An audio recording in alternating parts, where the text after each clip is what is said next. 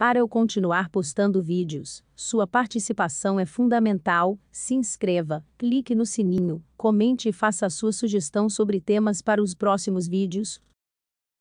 O canal Loading foi lançado em 7 de dezembro de 2020.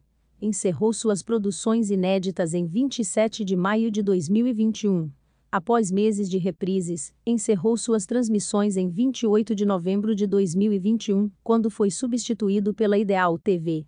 A Rede Mulher foi fundada em 1994, no interior de São Paulo, com programação voltada para o público feminino. Ficou 13 anos no ar, até que em setembro de 2007, seu sinal foi substituído pela Record News.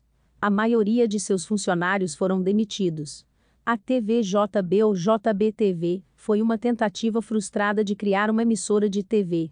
Alugando horários na rede CNT, a emissora tentou oferecer uma programação diferenciada. Ficou apenas cinco meses no ar, sendo que na última semana, deixou a rede CNT por problemas contratuais e migrou para a Rede Brasil de televisão, antes de sair do ar definitivamente.